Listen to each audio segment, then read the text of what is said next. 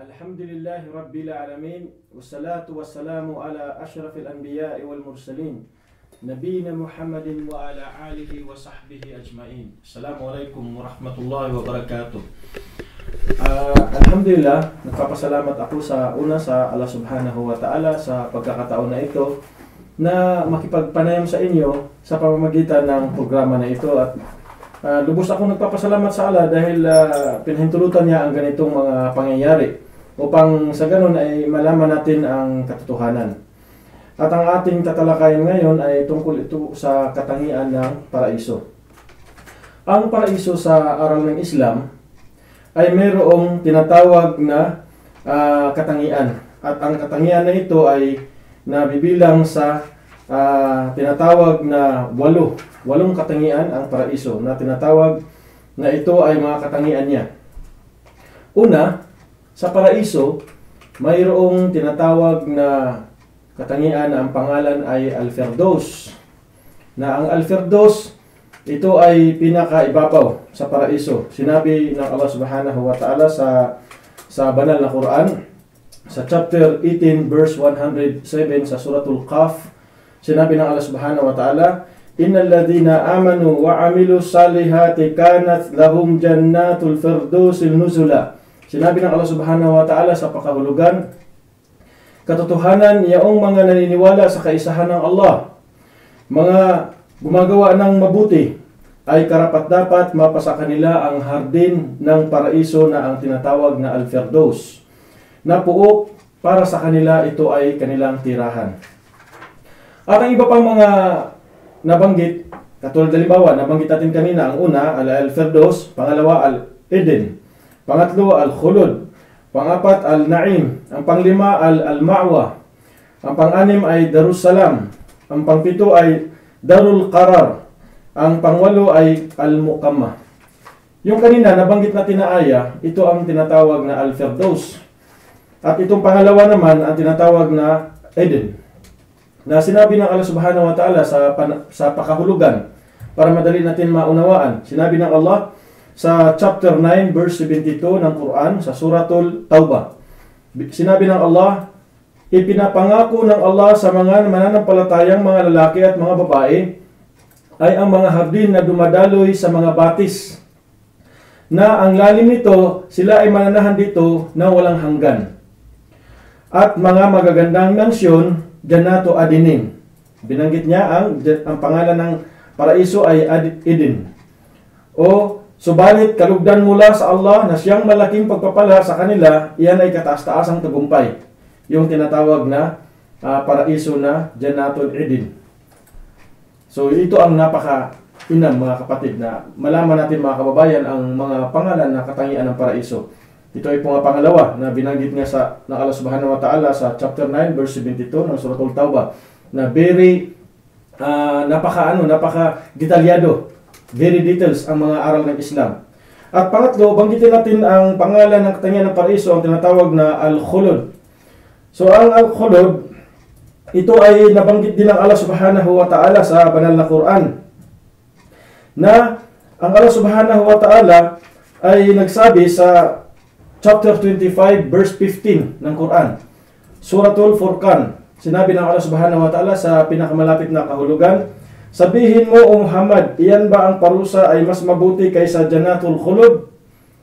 Paraisong walang katapusan. Na tinatawag nito ang kahulugan, paraisong walang katapusan na ipinapangako sa mga mutakon, mga matutuwid na tao. At makajos at makatarungang tao. Mapapasakin nila ito bilang gantimpala sa huling hantungan. So ito ang tinatawag na katangian ng paraiso na pangatlo na tinatawag na Al-Khulud sa chapter 25 verse 15 ng Quran sa Suratul Furqan. Ang pangapat naman ay ang Jannatul Naim. Yung tinatawag na paraiso na ang tinatawag ng katangian nito ay Naim na sinabi ng Allah Subhanahu wa Ta'ala sa pinakamalapit na kahulugan sa Suratul Tauba pa rin, chapter 9, verse 21 ng Quran. Sa pinakamalapit na kahulugan, sinabi ng Allah, Binibigyan sila ng mga magandang balita ng kanilang Panginoon sa mga biyayang mula sa Kanya, mula sa Allah. At naging malugod siya sa kanila at mga hagdi ng paraiso para sa kanila na doon ay naimun mukim na ito'y tinatawag na mga gala, kagalakan ng kalugurang walang hanggan. So, sabihin, ito yung Janatun Naim ay kagalakan o kalugurang walang hanggan. Mababasa natin yan sa Suratul Tawbah, chapter 9, verse 21 ng Quran. At ang panglima, yung nabanggit natin kanina ay tinatawag na Al-Ma'wa. Ang Al-Ma'wa, ito ay paraiso na tinatawag na harding pang-aliw. Sabihin, itong Al-Ma'wa, hardin na pang-aliw. Na binanggit ng Allah Subhanahu wa Ta'ala sa banal na Quran sa Suratul Sajdah, tar- chapter 32, verse 19 ng Quran, sa pinakamalapit na kahulugan, sinabi niya, para sa iyong mga naniniwala sa kaisahan ng Allah at gumagawa ng kabutihan ay mapa sa kanila ang paraisong Janatul Ma'wa.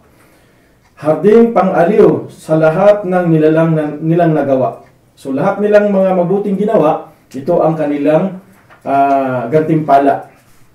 At ang pangpito, ito ang tinatawag na Daral Qarar. Ang pangpito, tinatawag ito ng Daral Qarar. Na ang kahulugan nito, ito ay tahanan ng kapayapaan. Daral Qarar, tahanan ng kapayapaan. Na ito'y binanggit ng Allah Subhanahu wa Ta'ala sa chapter 6, verse 127 ng Suratul An'am. Sinabi ng Allah Subhanahu wa Ta'ala sa pinakamalapit na kahulugan, para sa kanila ay paraisong Darussalam. Pa- Para sa kanila ay paraisong Darussalam na itong itong paraiso ng Darussalam ay tahan ng kapayapaan kasama ng kanilang Panginoon at siya ang kanilang wali, katulong at tagapagtanggol dahil sa kanilang mga gawa.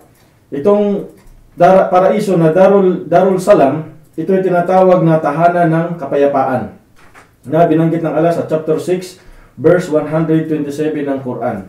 So ito ay ah, pang-anim at ngayon ay pang-pito. Ito ang tinatawag na Darul Qarar. So sorry kanina nabanggit ko ang Darul Qarar pero ang pang-anim kanina ito ang Darul Salam. Ito ay pang-pito ngayon Darul Qarar na ito isa sa katangian ng paraiso na binanggit ng Allah Subhanahu wa Ta'ala na ang katangian nito na ang kahulugan ay tirahang walang hanggan. Darul Qarar. Kanina ang Darul Salam, ito ay tirahan ng kapayapaan. At ngayon naman ang Darul Qarar, ito ay tahanan ng walang hanggan. Mababasa natin sa Quran sa chapter ah, 40 verse 39 ng Suratul Ghafir. Sinabi ng Allah Subhanahu wa Ta'ala sa pinakamalapit na kahulugan, Katotohanan ang buhay sa mundong ito ay walang iba kundi napakaiksi. Ka- napakaiksi lamang ang buhay dito sa mundo. Sinabi ng Allah, at katotohanan ang kabilang buhay ay siyang daral karar. Ibig sabihin ng daral karar, tirahang walang hanggan. Ibig sabihin, hindi tayo magtatagal dito sa mundo, pansamantala lang tayo. At ang tuluyan natin, kung tayo ay magpapakatuwid, magpakabuting tao, yun ang ipinapangako ng Allah Subhanahu wa Ta'ala ng katangian ng paraiso ay daral karar, tirahan ng walang hanggan. At ang pangwalo naman, na katangian ng paraiso, ito ay tinatawag na al-mukamma. Ang al-mukamma, ang kahulugan nito ng al-mukamma ay tahanang walang hanggan din. Kung kanina ang Darul Qarar ay tirahang walang hanggan, ito naman ay tahanan. Ibig sabihin ng tahanan, ito ay kanila itong ah, lugar na ito ay walang hanggan na lugar, na tahanan. Na sinabi ng Allah Subhanahu wa Ta'ala na itong Al-Muqamma ay binanggit ng Allah Subhanahu ito sa Quran sa chapter 35 verse 35 ng Suratul Fatir. Sinabi ng Allah Subhanahu wa Ta'ala sa pinakamalapit na kahulugan, Siya ang Allah na panatira sa na, na panatira kami sa Daral Muqamma, tahanang walang hanggan mula sa kanyang grasya. Doon ay hindi kami abutan ng pagkapagod at doon din ay hindi kami aabutan ng paghihina o pagkabagot. Ito yung mababasa natin sa Quran sa chapter ah, 35 verse 35 ng Suratul Fatir na ang Allah Subhanahu wa Ta'ala nagsabi na ang tirahan natin doon sa kabilang buhay kung tayo ay magpapakatuwid, magiging mabuting tao, gumagawa ng utos ng Allah at lumalayo sa kanyang bawal, ang ating tirahan ay Dar al-Mukammah, itong katangian ng paraiso na tahanan na walang hanggan. At doon mananatili tayo magpakailanman. At hindi na tayo mapapagod, hindi na tayo ah, mapapagot, hindi na tayo mapanghinaan dahil nandoon na ang ating buhay na walang hanggang tirahan. At ito ay pinapangako ng Allah Subhanahu wa Ta'ala para sa mga taong nagpapakatuwid dito sa mundo, nagsisikap na makilala niya ang kanyang tunay na Panginoon, malalaman niya, malaman niya ang tunay na pagsamba, malaman, malaman niya ang pinag-uutos, maiwasan niya ang mga ipinagbabawal. Ito ang maikli na sulyap sa ating uh, naikwento itong uh, uh, tinawag na katangian ng uh, paraiso. Kaya mga kababayan, mga mahal na kapatid, tayo po ay magsikhay at magsipag tayo na maghanap ng kaalaman hinggil sa relihiyon dahil hindi pa huli ang lahat at na napakainam na tayo ay uh, uh, malaman natin ang katotohanan katulad nga ng sinabi ni Jesus Christ na seek you the truth and the truth shall set you free. Hanapin ninyo ang katotohanan dahil ang katotohanan lamang ang magpapalaya sa inyo. Ang ibig sabihin ng magpapalaya dito ay libre ka sa kabilang buhay, hindi ka maitapon sa impyerno. Libre ka, makapasok ka dito sa tinatawag na Dar al-Mukamma, tahanan na walang hanggan. At yung Dar al-Karar naman ay tirahan na walang hanggan. So doon tayo mananatili magpakailanman. Kung ating nakilala ang ating Panginoon at sinamba natin siya at ginawa natin ang mga ipinag-uutos at iniwasan natin ang kanyang mga ipinagbabawal. Kaya Marami pong salamat sa uh, mga viewers at ako po ay uh, uh, muli nagpapasalamat sa inyo sa uh, pakikinig at panonood nito at uh, dalangin ko sa Allah Subhanahu wa Ta'ala na sana mabuksan ang ating uh, pangunawa at uh, bibigyan niya tayo ng gabay dito sa mundo hanggang sa kabilang buhay. سبحانك اللهم وبحمدك أشهد أن لا إله إلا أنت وأستغفرك وأتوب إليك وصلى الله عليه وسلم على نبينا محمد وعلى آله وصحبه أجمعين.